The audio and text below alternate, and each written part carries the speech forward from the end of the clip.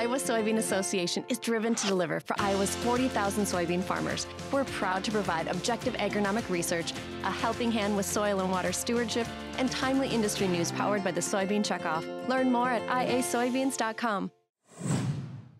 Hey everyone, it's Paul Yeager. This is the MTOM Show podcast, a production of Iowa PBS and the Market to Market TV show. A couple of weeks a year, I disappear from the show and spend time working for Iowa PBS covering high school girls' sports, specifically the championships for basketball and for softball in Iowa. It's something that's kind of fun to do, and it's a good mix of what I've always done in my career.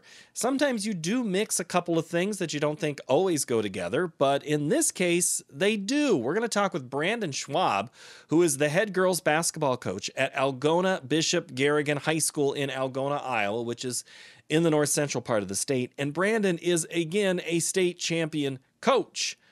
We're going to find out what it's like to be on the sidelines and balance family and farming in addition to his life on the farm. That's our discussion today. And one thing about this discussion, his team features the best high school girls basketball player in Audi Crooks. Iowa State Cyclone fans are familiar with her. She'll be a Cyclone next year uh, in Ames, and those in the Big 12 will probably get to know her as well.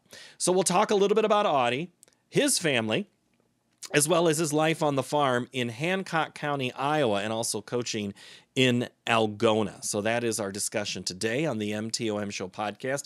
If you have a tip for me or anything you want to write to me, send me an email at paul.yeager, that's Y E A G E R, at iowapbs.org. Now, Let's uh, shoot some hoops and talk some farming with Brandon Schwab. Man, you farmers have it rough. Look at you, t-shirt in the middle of March. Is that how it really works? You must not be a, a dairy guy. No, I'm not a dairy guy. Uh, uh, this, this this is our weekly um, March trip after state basketball of and before spring planting that we take every year. So, yep, enjoying Cape Coral. Going to enjoy some Twins baseball this afternoon. All right. I thought farmers were only supposed to pick one sport. You can't pick two. well, unfortunately, I've got two, or fortunately, I have two boys that are involved in all sports. So uh, I get to balance between all of them. We'll talk basketball in a little bit, but I have to be true to my agriculture audience. Tell me about the farm. Well, uh, I've this is my 14th year of being back farming full time. Um, I uh, farmed with my uh, I farmed with my dad for uh, um, 13 of those years. He passed away last year after the state basketball tournament. So last year was my first year of by myself on the farm uh, of running things on my own. So it's been a definitely a uh, um, transition without a doubt. Uh, being able to have uh, a guy that's farmed for 40 years there um, to beat any question down the door to uh, now you're farming it all yourself, you know. So uh, it's been a transition. Luckily, I've got a lot of good people around me, good friends and neighbors that have done a lot of years to to help me through it. And I'm I'm lucky that I had you know 13 years of full time farming with Dad before he passed away. How active was he prior to getting sick? Very active, all the way up, all the way up until the last. Uh, he he had been battling cancer for about five or six years uh, previously, you know, and um, uh, he was very active all the way up to the fall before. You know, he really didn't get sick to the last, you know, say 45 days before he passed away. So he was very much very active uh, in the daily operation of the farm. So you didn't even have like that last fall to say, "Yep, this might be it," because he's sick. You were that that fall before it was still all all systems go all systems go the fall before. There's, yep, he was all systems go, putting in as many hours as all of us were every day. So yeah, I mean, so it was it was a it was a quick and fast thing, but that's sometimes how uh, you know cancer in the world works. So uh, we've had to move on from that and uh, keep the farm going in the right direction because that's what he'd want. I forget brothers or sisters around too that help. I have a sister that uh, is a uh, school teacher at Waukee District, and uh, that's it. So uh, just me and my sister. So it's you now, full on everything. Yep. You got to make a whole lot of decisions. So how do you allow someone to have a little bit of, you know, blocked out time from say November to March? well, uh, luckily, like you said before, I'm I, am i am not. Uh, I, am a grain farmer. You know, uh, I mean, I can still um, haul grain during the day and still get to basketball practice at three o'clock in the afternoon. You know, so uh, basketball is one of them sports that allows me to still balance both uh, both worlds without a doubt. Uh, you know, so um, you know, I would say I market around the basketball a little bit more than I probably should sometimes. You know, of when uh, we don't haul a whole lot of grain in the last four years uh, during state tournament basketball or district basketball. So, uh, um, yeah, that's uh, just market around that for sure lately. Well, let's let's look at it this way. February is usually traditionally a down month for grain. So, see, mm-hmm. you're just you're just biding your time, waiting for the markets to rally in March and April.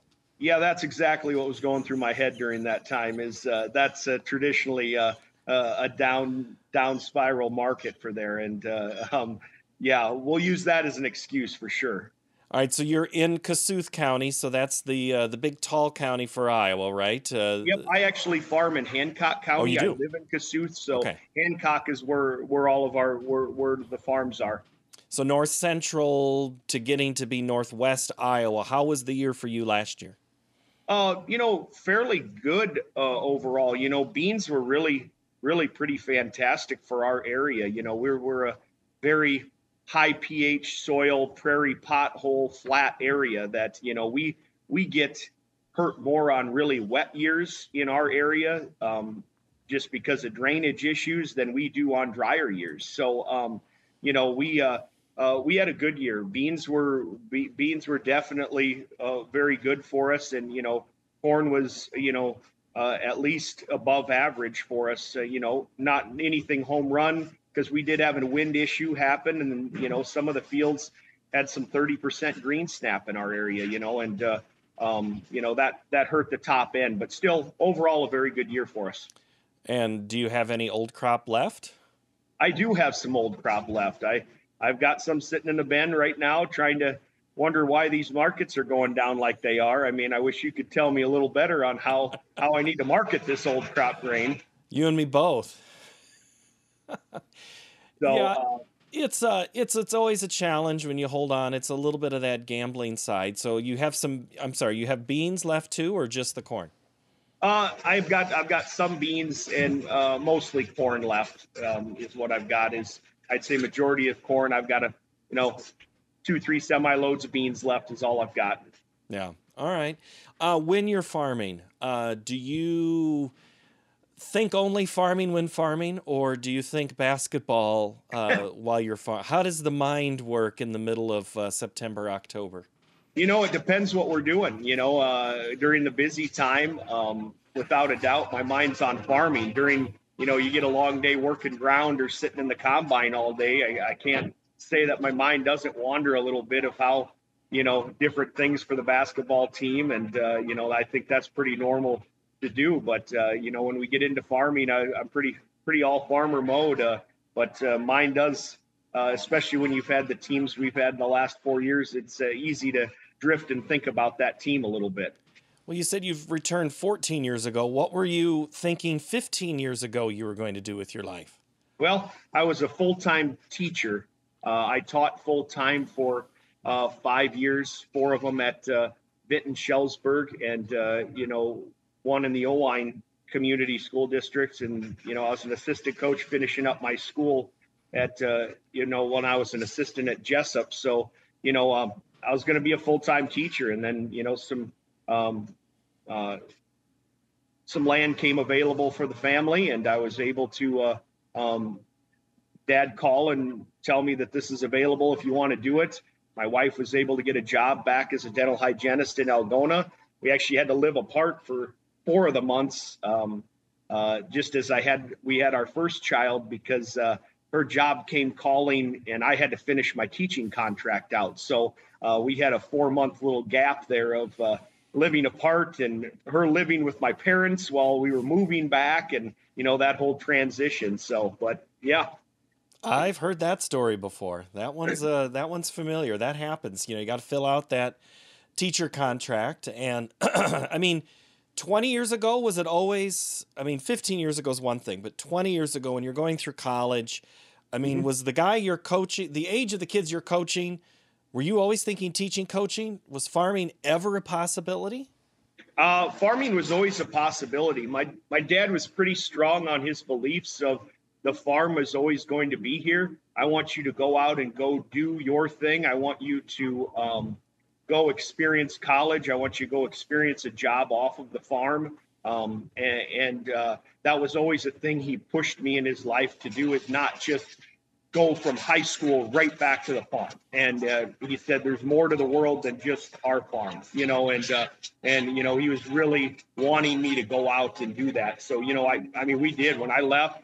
I mean, I'd come back sometimes in the fall and spring and help, but you know, overall from that is, uh, um, I, I mean, I I stayed away for you know 10, 12 years of college and that, and you know, and then was able to come back. I'm very happy I did that. You know, you you, you get a lot of new experiences. You got to meet a lot of people you didn't know. And, you know, honestly, I got into a coaching profession that I really love. You know, uh, I, I, guess I've always wanted to coach. I've been involved in athletics my whole life. And, uh, you know, um, and I'm happy that the basketball season's during the winter that I can uh, um, have a chance to balance them both without a doubt.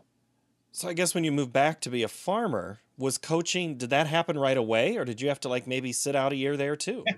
You know, I, I went from being the head girls coach at Vinton Shellsburg to moving back in the area, and there were just no head coaching jobs open. You know, you know, I mean, so I jumped on as an assistant coach uh, uh, with Algona High School, the public school in town, for two years, and then the uh, Bishop Garrigan job happened to open up, and, and you know, I'd always been honest with Algona and everything. I'm I'm looking to be a head coach again. If an area one opens up, that's probably where uh, I'm going to end up and uh, and uh, take my kids to, you know. And uh, um, Bishop Garrigan opened up, and uh, I applied, and thankfully got the job, and I've been there ever since.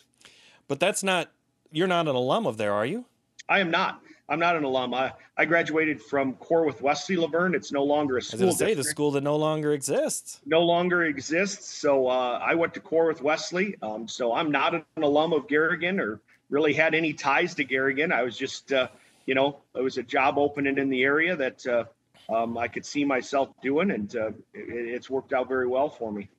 Oh, by the way, your old gym job would be right about there, and uh, the other one, I guess I'm looking at Vinton, uh, if you would think of it this way. So that's the home spot uh, between your two. So that's always been kind of fun. We can talk about some of those old uh, common areas, and CWL was uh, a good spot to to be born. And then Garrigan comes calling. You you get the job and you, you kind of get a couple of years under your belt, and then all of a sudden, uh, a once in a generation player comes along. When you know Audi Crooks is coming, uh, what are you thinking in sixth, seventh, and eighth grade?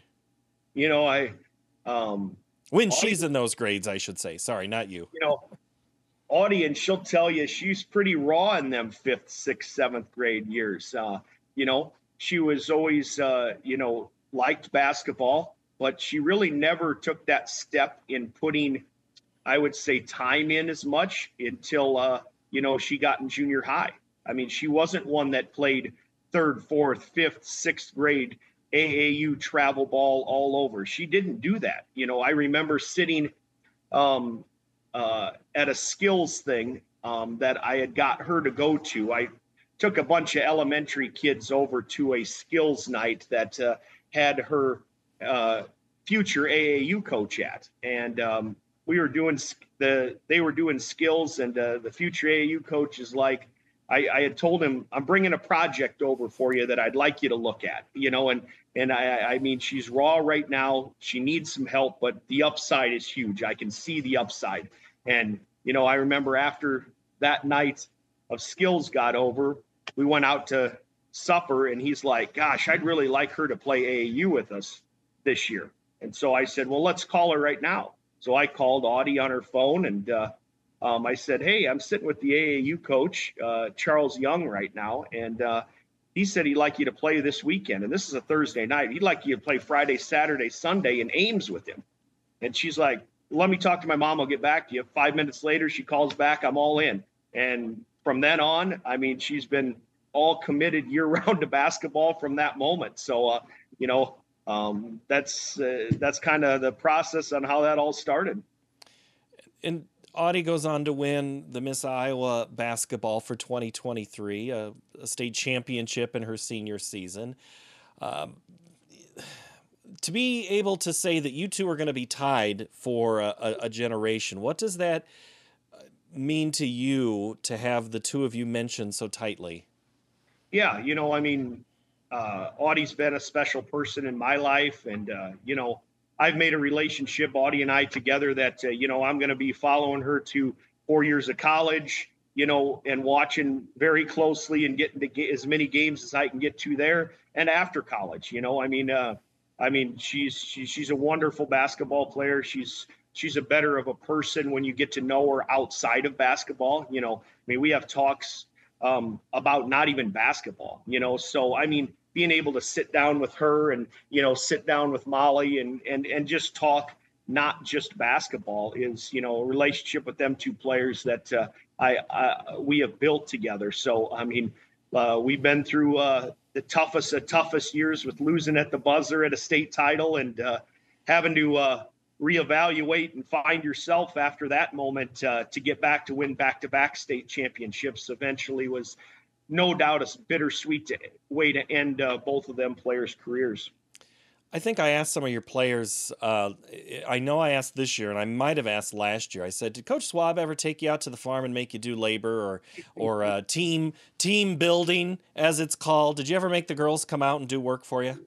I never did. The one summer they were looking to get their uh, wanted to get a tan on, and I said, "Well, I got some rocks for you to pick up." I said, and uh, I thought I had the three of them to come out and pick some rock up, but then they found out uh, that both the Gator and uh, the Polaris General had a roof on the top, and they did not like that uh, it wasn't open to the sun. So I guess I lost that manual labor for the day. well, they could have rotated. One could have drove, and the other one could have walked and got in some steps that way. I think it was partly not the. I mean, it, some of it was the roof that they had on, and some of it was then they found out after talking to people that picking up rock isn't the most glorious of jobs, and uh, not sure how the uh, they would react to having a, a, multiple day of that. I'm with them. Wasn't my favorite either. I give you yeah. that. That's uh, that's one of those jobs I don't miss and talk about often. Uh, when you have um, the small town Iowa basketball player, uh, I still think embodies what a lot of Iowa basketball players of the past used to have, and it is an ag background, some type of farm community. Uh, that this basketball was that that outlet for some of these. That might have been the only sport. We're talking generations ago, but give me a little bit of sense of the fabric of your teams and their connection to the land, and does that make any difference to you if they do or do not have any connection to farming?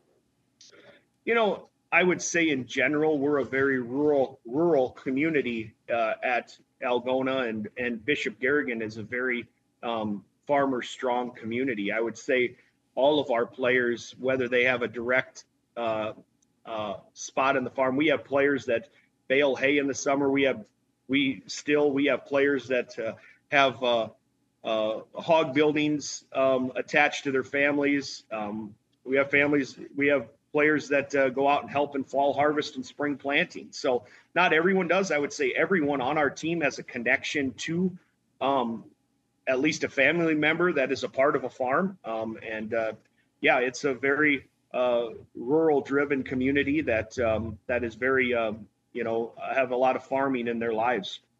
And you've coached in a lot of districts where that's the case. What's that mm-hmm. conversation like when you might have a parent that says, "Yeah, I don't think my kid can go out or go this weekend for this tournament. To, she mm-hmm. has to be home to help us do X." Mm-hmm.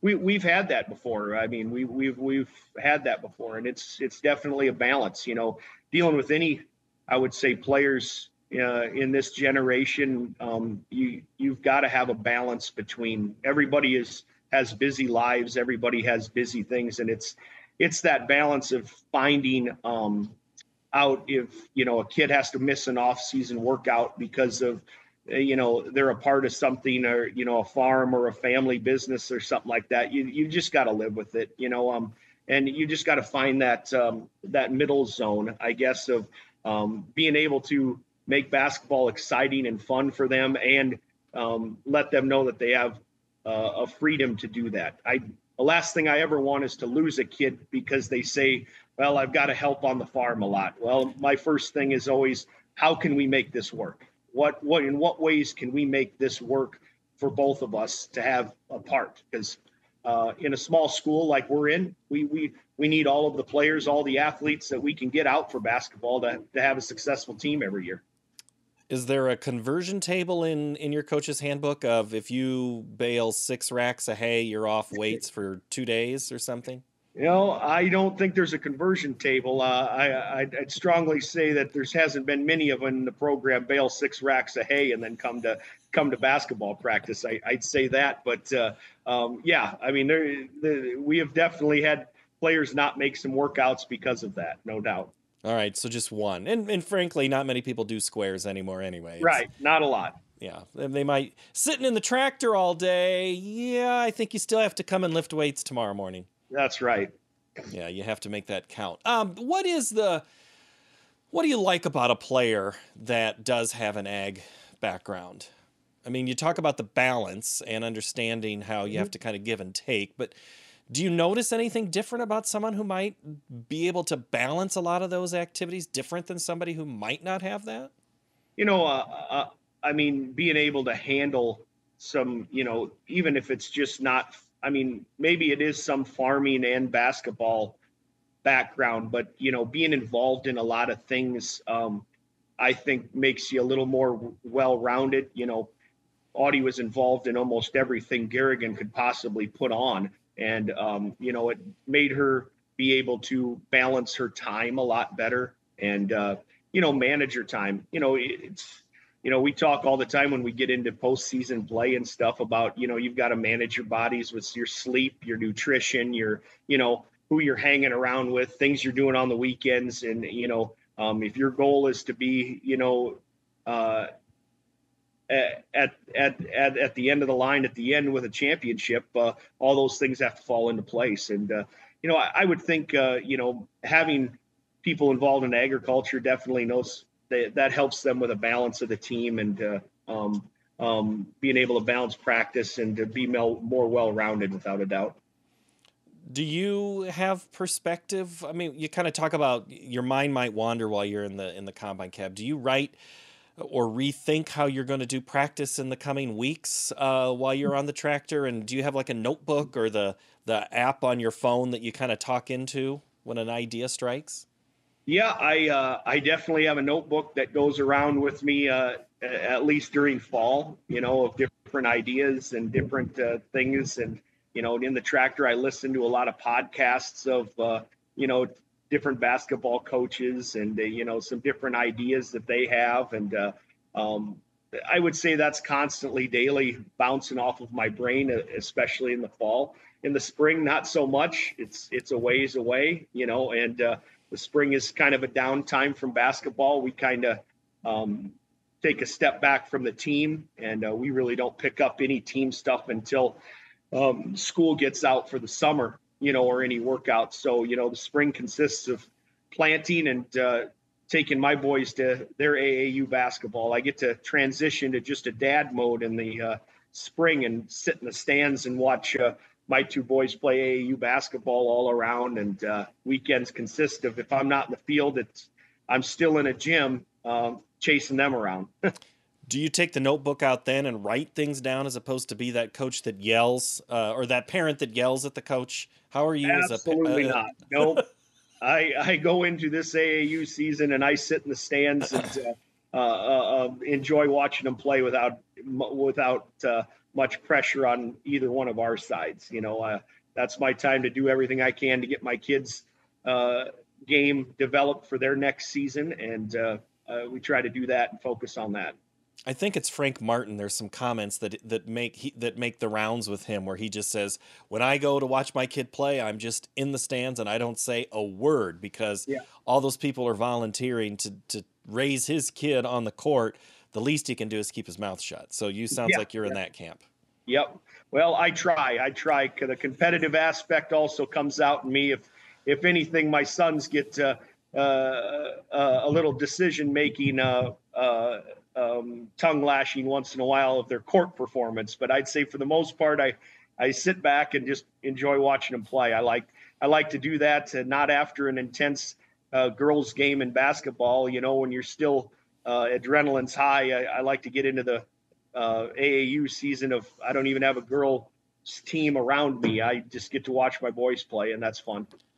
Do you in say January if you're hauling grain or something? Do you re- and maybe the night before was a loss or somebody threw a zone at you that was different? Do you replay that uh, and maybe get a little distracted at that time of year, or do you have to really kind of focus on the job at hand in know, January? I, uh, yeah, you know, uh, I would say that's more of a uh, sleepless night affair, and uh, you know, I usually by the morning have uh, kind of a direction of where I want to go the next day. You know, uh, if if that happens on the basketball court, um, it's definitely a sleepless night for me. If something stumps us, or you know that I spend a lot of time watching film. I spend a lot of time, you know, after games sitting in my basement and and, and watching uh, quite a bit of film and uh, a lot of self evaluation on what I should have done differently here, what I should have could have done here, you know, and uh, I I make them notes and stuff to myself to make sure that uh, hopefully that adjustment's made the next time. You're not sitting at the line at the co-op or the ethanol plant watching huddle, are you? Absolutely not. No, not me. we don't need to let, yeah we don't need to let the dot see my phone out at all when i'm driving that semi. Well if it's parked and you're waiting come on we all know. Uh, your son uh, colin has been uh, with you on the side. I mean he's to that age right now. Um, what's he think about what dad does? Does he yeah. does he think farming coaching playing uh, you know i mean it's pretty young but you also are setting an example for him too yeah, you know, uh, both of my sons, uh, you know, Carter, he's a freshman now, and he was the same way Colin was all those years. Not as visible, just because uh, we didn't get put on the big stage like we have been in the last four years. But you know, my my high school boy was the same way Colin sat on the bench all the way through. He got too cool to hang out with dad on the bench anymore, you know, and uh, that's you know where, where we've got Colin now. You know, I mean, both of my boys uh, it's a family ordeal. My wife, both of my boys, me, we, we love basketball. We like watching it. We like going to games that doesn't involve anything. You know, it's just something that all four of us share together. And, uh, you know, it's neat to be able to have Colin on the bench as it was for Carter when he was younger. You know, I, you know, I, I want them around that. You know, I want them around that. And both of them love the game of basketball and put a lot of time in. And uh, I, I challenge there's few kids, uh, you know, that have sat on as many benches as those kids uh, throughout their lifetime. Uh, I remember Carter when he was born.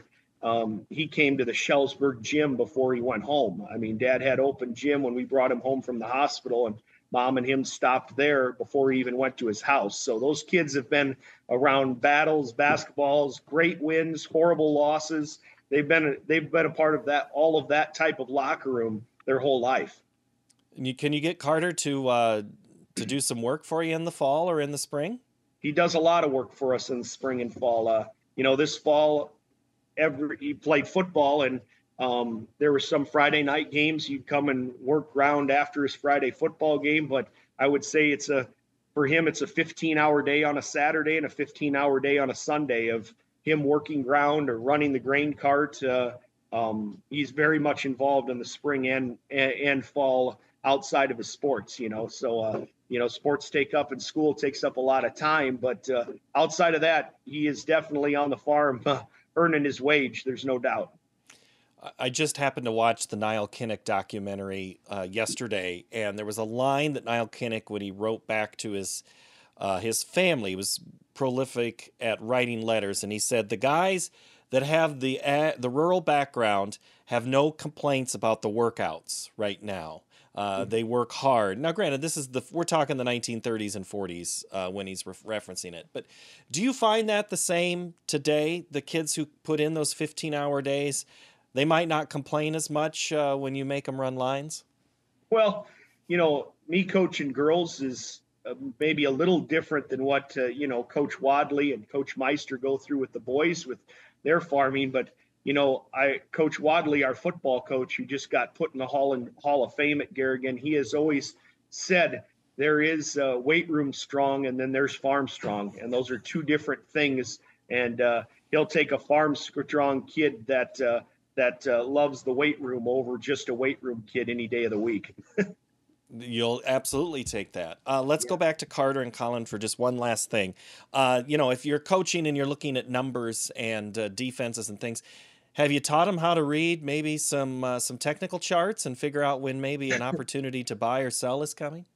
Oh boy, I wish that was. If they could uh, gain that knowledge, that's if they want to do anything and come back and farm someday. If they'd bring that marketing knowledge uh, back with them, that'd be great. I feel I spark spark the market every time I sell. I just when I sell the next day it goes up. So I I'm just in that. Uh, I I just feel I every time I sell I joke with my friends and say, hey guys sold some corn today. Just hold on 24, 48 hours. You're going to get a bump here. So I feel like uh, that's been me uh, as of late. uh, I, I don't think you're alone in that. I think a lot of people feel that way. So you're okay in that sense. Yeah. All right. I appreciate it. Congratulations on the season. It's been really fun to uh, chat with you over the years, and I hope uh, we get to continue to talk farming and basketball. We don't have to stick just to so farming. Too. You got those state teams coming. Yeah, I hope so too. It's been a it's been a heck of a ride, and uh, um, you do whatever you can on this end to get me some marketing advice to sell a little better corn than what I've uh, I've done as of late. All right, every Friday night we make the podcast right into your phone. We make it real easy for you. How about that? Sounds good. Part. I'll be listening. All right, Brandon Schwab, appreciate uh, the time. Thank you. Yep, thank you. My thanks to Brandon Schwab for his time today on the MTOM Show podcast, which comes out each and every Tuesday. Subscribe wherever you get your podcasts, where you can listen or watch us on YouTube. We appreciate either that you may do. If you have any feedback for the show, market to market at iowapbs.org is the email to use. We'll see you next time. Thank you, and bye bye.